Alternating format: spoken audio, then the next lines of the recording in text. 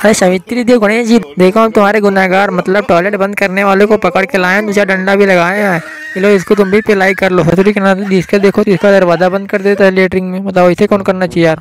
देखो मनोज भाई, बात ऐसा है।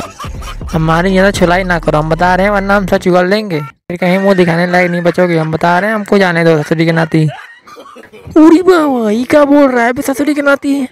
हमको तो लगता है मनोज भैया तुम मिले हो इस ससुरी के नाती, तुम्हारा ही भेजा गया दूत है। ये सही बोल नहीं रहा है। तुमने मना किया ससुरी के नाती।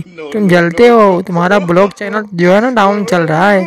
और हमारा ब्लॉग चैनल तो बहुत अच्छा चल रहा है। ससुरी के तुम जलते हो लगता है। इसीलिए तुम लगता है भेजे थे। उठपटांग हरकतें तुम ही करवाए हो।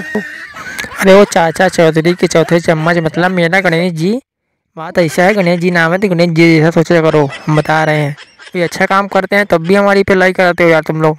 इतने बुरे आदमी तो हम नहीं है ससुरी के तीन तीन मिलियन से ज़्यादा सब्सक्राइबर हो गया हमारा।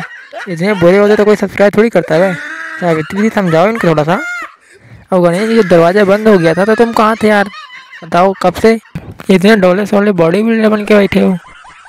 एक पंच मारना चाहिए तुमको। तुम तो जाके ट्रेन में बैठे थे। अरे मनोज भैया, गणेश जी को कुछ ना बोलो।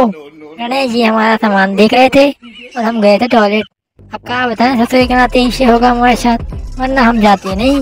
लेकिन अब मिल गया तो इसको पहलो ससुरी के नाते को। इसको अंडा ना पहनाओ, इसको डंडा पहलो हम बता रहे हैं। मार मार के कुत्ता बना दो, पिछवाड़ा लाल कर दो ससुरी के नाते को। दोस्तों, आपको भी कमेंट करके बताना है कि रेलवे डिपार्टमेंट को भी ऐसे मामलों में ध्यान देना चाहिए। ऐसे बताओ हादसे हो जाते हैं लोगों के साथ। और रेलवे डिपार्टमेंट अपने मस्ती में मगन रहता है। कमेंट करके ज़रूर बताना मिलते हैं नेक्स्ट वीडियो में।